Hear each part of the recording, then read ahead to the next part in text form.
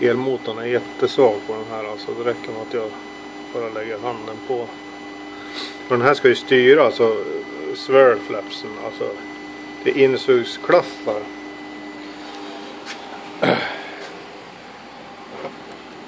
Som sitter på, på en stång här som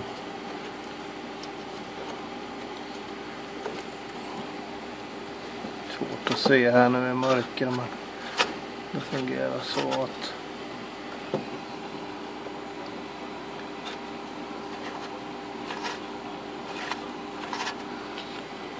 you.